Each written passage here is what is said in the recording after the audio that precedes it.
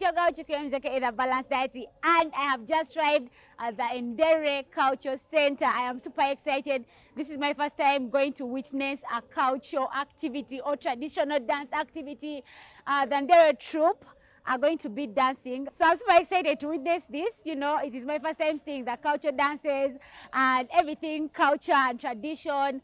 So from the Wildlife Conservation Center, I decided to drop by the Ndere Culture Center.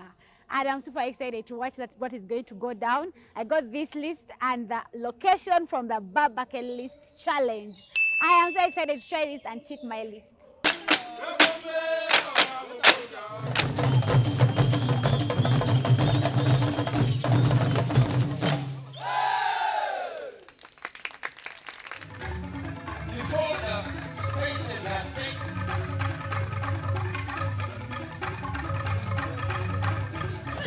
Hi guys,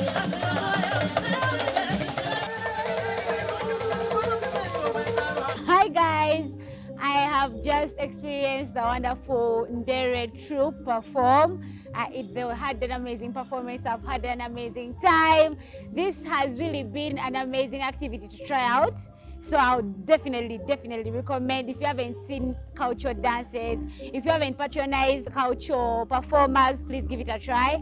And if you have any other thing you want to try, as for me, I'm running to the bucket list to try out something new and tick something I would want to try out before the year ends.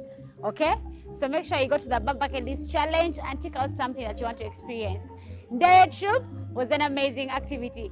10 out of 10.